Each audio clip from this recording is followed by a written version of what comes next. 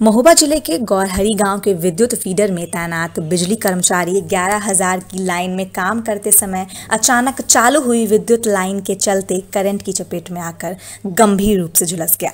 साथ ही कर्मचारियों द्वारा घायल संविदा कर्मी को इलाज के लिए आनंद फानन में एंबुलेंस की मदद से जिला अस्पताल में भर्ती कराया गया, जहाँ प्राथमिक उपचार के बाद उसकी हालत चिंताजनक होने पर डॉक्टर ने झांसी मेडिकल कॉलेज रेफर कर दिया। अब सवाल खड़ा होता है कि जब कर्मचारी शटडाउन लेकर विद्युत पोल के ऊपर चढ़कर काम कर रहा था तो सप्लाई कैसे और किसने चालू कर दी?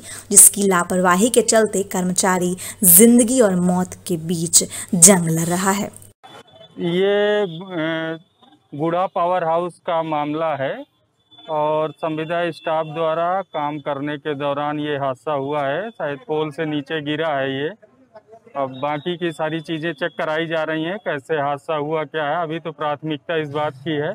कि पहले इसका इलाज सुनिश्चित हो सही ढंग से और बाकी जो भी सारी चीज़ें वो देखी जाए। लाइन आके शटडाउन के बाद अचानक कैसे चालू ये सारा अभी जाँच का विषय है सारी चीज़ें देखी जा रही हैं क्या हुआ कैसे हुआ कौन दोषी है ये सारी चीज़ें निकलेंगी हाँ। अभी राजकुमार नाम के कर्मी को भी लेके आए हैं कुछ लोग और ये करंट है ग्यारह हज़ार वोल्ट का करंट लगा है उससे और डीप बर्न है काफ़ी कम से कम पचपन परसेंट लगभग बर्न है।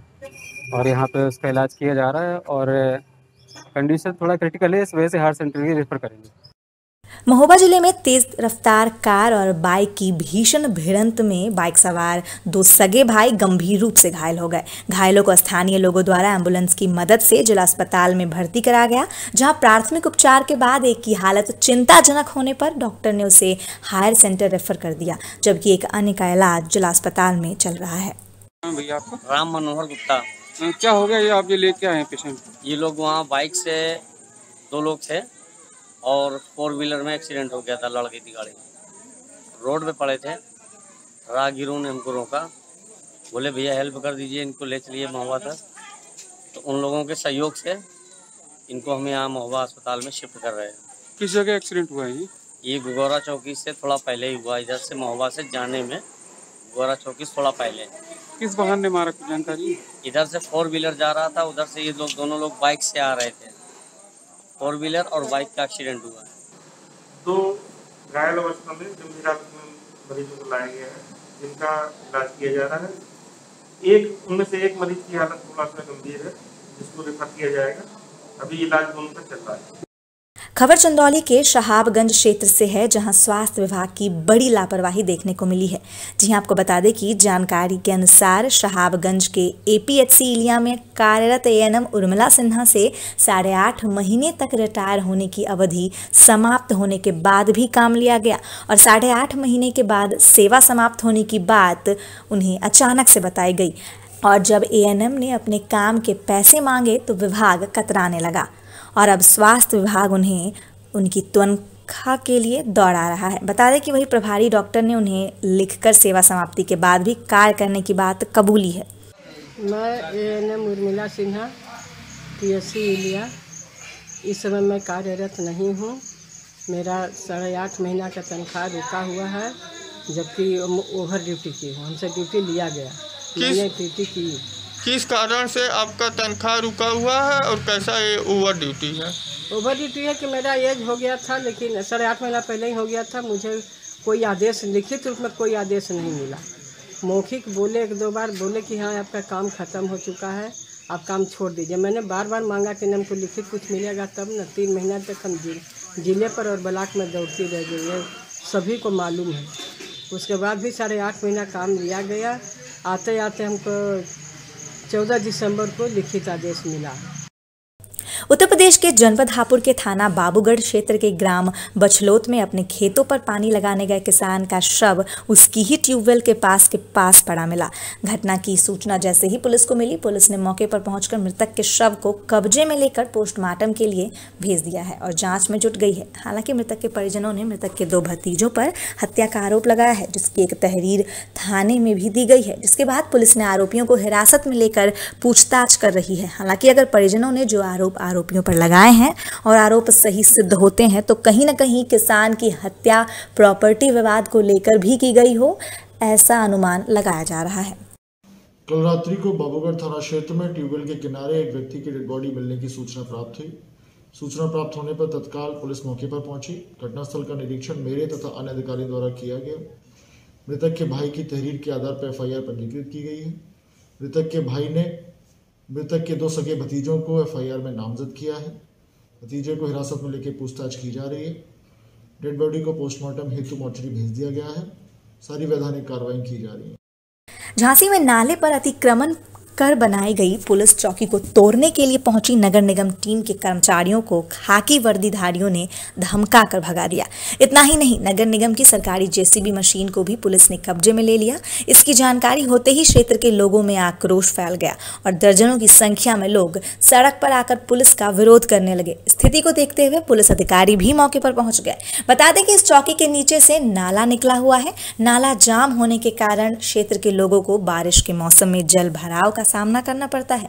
गंदा पानी घरों में घुस जाता है, जिसके कारण लगभग दस हज़ार क्षेत्रीय लोगों को भारी असुविधा का सामना करना पड़ता है।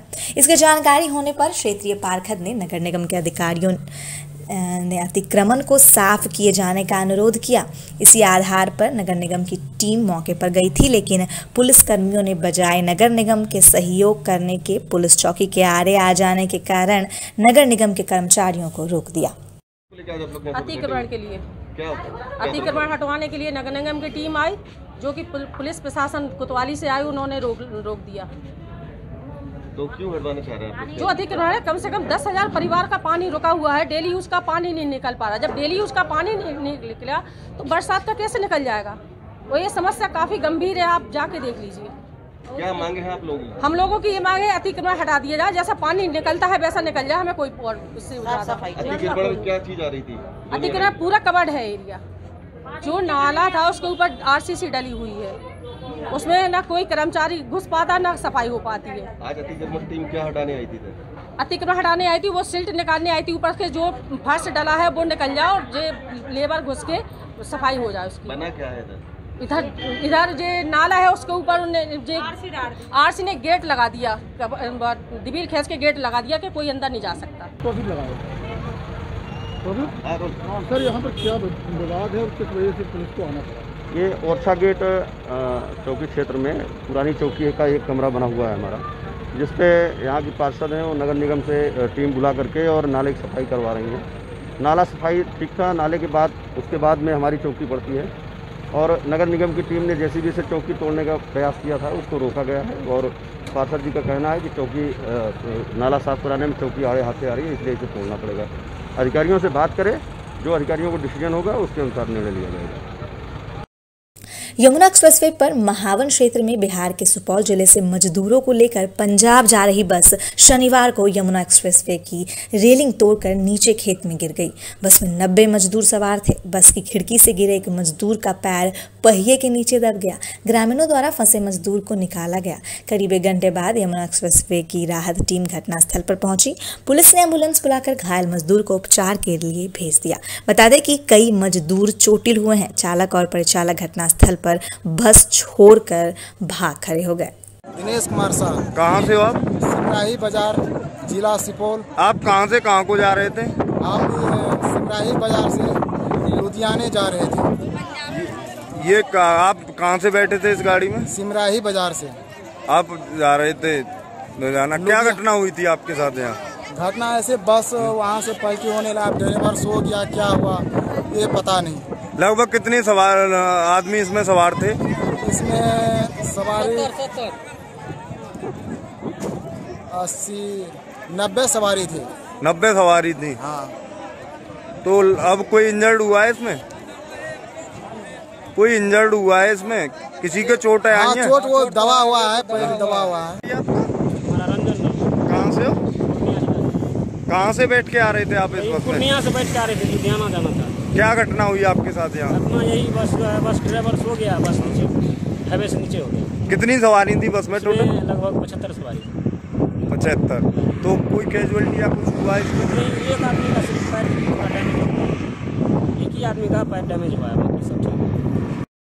मथुरा जनपद के वार्ड नंबर छः के निवासियों के द्वारा आज पानी की समस्या को लेकर मथुरा डिग मार्ग को जाम किया गया। कॉलोनी निवासियों के मुताबिक उन्हें पिछले कई दिनों से पानी नहीं मिल पा रहा है। उनके द्वारा आरोप लगाए गए हैं कि गोवर्धन के चेयरमैन से शमशान भूमि को लेकर चल रही विवाद की वजह से पानी बंद कर दिया गया है और ट्यूबवेल पर कार्यरत कर्मचारी जो कि उसी कॉलोनी का रहने वाला है, उसको वहाँ से हटा दिया गया है, जिससे पानी की भारी परेशानी झेलनी पड़ रही है।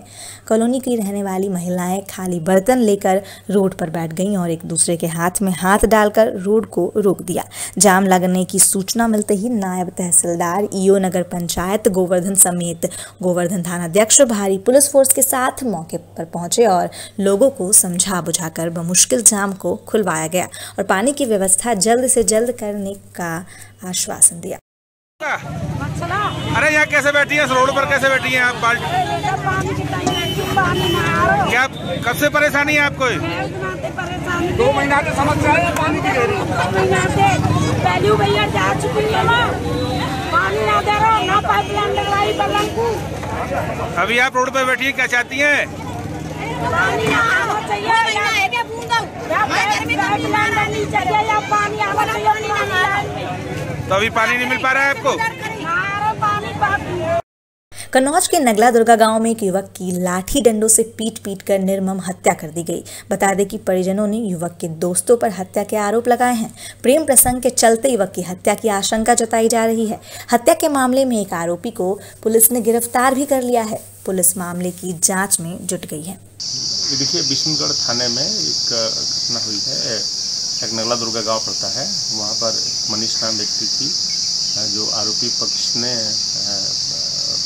डंडा लाठी मार करके मारा था, जिसकी दुर्भाग्यवश डेथ हो गई है। इसके संबंध में जो मृतक है, मृतक के माँ के तहरीर पर मुकदमा अपराध संख्या छाछठ बटा इक्कीस पंजीकृत कर दिया गया है। ये जो आरोपी है, आरोपी को हिरासत में हिरासत में लेकर के पूछताछ की जा रही है। इसमें प्राइम फसाई जो जाँच में आई कि जो मृतक का और आरोपी के बीच में कोई झगड़ा उनके परिवार से लेकर के था। एक अवैध संबंध के लेकर के इसमें शक आरोपी रहा है, उसी के शक में उसने मनीष की डंडा उंडा मार करके हत्या कर दी इसके संबंध में मुकदमा पंजीकृत ऑलरेडी पंजीकृत कर लिया गया है हाथ ले लिया गया है इसमें आगे की विधिक कार्रवाई की जा रही है। आपको बता दें कि लोनी अशोक विहार कॉलोनी में विशेष समुदाय के बीच रहने वाले परिवार की छोटी बच्ची ने दुकानदार पर छेड़छाड़ का आरोप लगाया है। बच्ची ने बताया कि दुकान पर सामान लेने के दौरान उसके साथ दुकानदार द्वारा छेड़छाड़ की घटना को अंजाम दिया गया। पीड़ित परिवार ने घटना की शिकायत पुलिस से की, लेकिन उनका आरोप है कि पुलिस ने आरोपी के साथ पीड़ित को भी हिरासत में ले लिया। पीड़ित परिवार के अनुसार आरोपियों ने घर में घुसकर उन्हें धमकी दी और मारपीट की है। इसके बाद से पीड़ित परिवार दहशत में है। वहीं पुलिस के अधिकारी भी कुछ भी बोलने से कतरा रहे हैं। तो कौन लोग थे? किस बात को लेकर के विवाद था? ये यहाँ के मुस्लिम से मैं बोलते तू अकेले एक दो घर हिंदू है मैं तुझे यहाँ रहने ना दूँगा। इसके वजह से मेरे लड़की के परेशान करते हैं घर में घुस घुस कर पीटते हैं कि यहाँ से हम चले जाए। तो पुलिस से आप शिकायत करते तो क्या होता है? पुलिस से शिकायत किए थे पहले बार किए थे तो यहाँ का डीलर ने बोला कि चलो कॉलोनी के मामला आपस में सुलझा लेंगे। तब पर भी ना कुछ हुआ। इस बार मैंने पुलिस को फ़ोन किया बोला कि कोई नहीं मेरे बच्चे के आरोप छेड़छाड़ के आरोप में लगाए पुलिस इनको ले जाकर बंद कर दिया। पहले भी छेड़छाड़ कर चुके थे लोग? पहले ये लोग फिर चुके थे।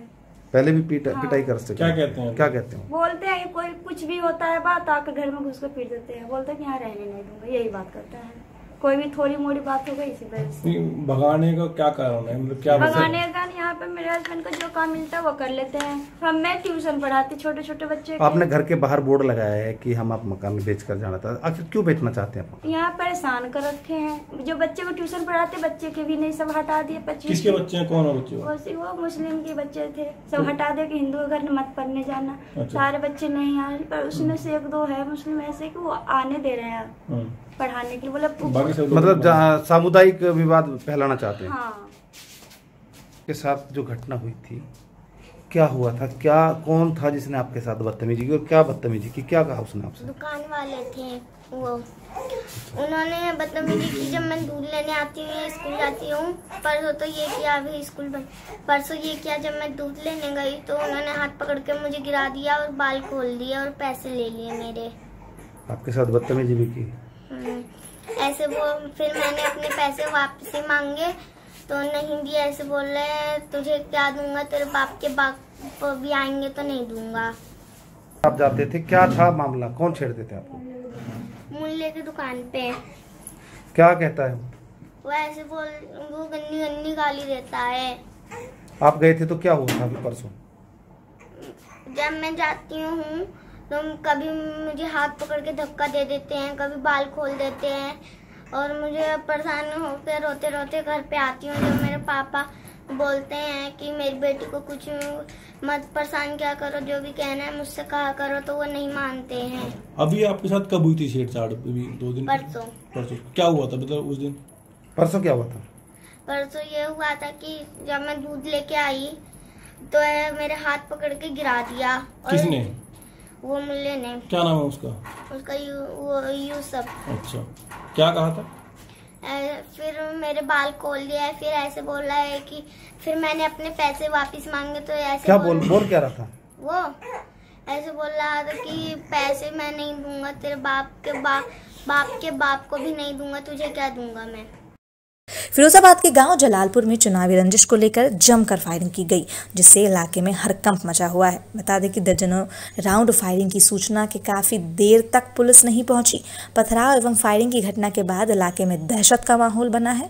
यह घटना वीडियो में कैद हो गई है। दोनों पक्ष सपा और प्रसपा के समर्थक बताए जा रहे हैं। राजेश जी क्या घटना हुई है गाँव में? ये हुआ था पहले प्रधानी का चुनाव। जी। उसमें रणजीत तो तंती है ना। तो अभी क्या हुआ प्रधान अभी तो वो एक लड़का आया था। जी। उससे मारपीट हुई थी। जी। और मारपीट दूसरे घर में घुस गया। हम्म, उसके घर में मतलब ज़बरदस्ती कैसे तुम मारोगे? अच्छा। फिर क्या हुआ? नाम करने पे वो उस पे ही हमला कर दिया। अच्छा। जो बता रहे फायरिंग हुई है? हाँ फायरिंग हुई है। एक नहीं हुई है कम से कम बीस पच्चीस फायर हुई है। बीस पच्चीस राउंड गोलियाँ चली। हाँ। उधर से ही हुई है। जालंग तो कोई मतलब ही नहीं था। तो बाद में आए ना। तो सतीश जी क्या घटना हुई है? घटना सर ये हुई थी जब मैं अपने मकान पे बैठा हुआ था।